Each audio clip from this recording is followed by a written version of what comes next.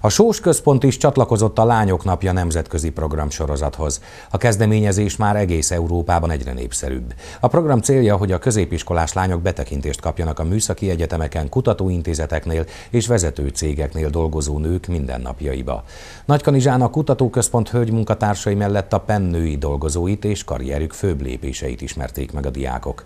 A programban gyárlátogatás, pódiumbeszélgetés és szakmai előadások is szerepeltek. A Nők a Tudományban, vagy Nők a Tudományért Egyesület, akik ezt egy országos programrá fejlesztették, amihez mi is csatlakoztunk.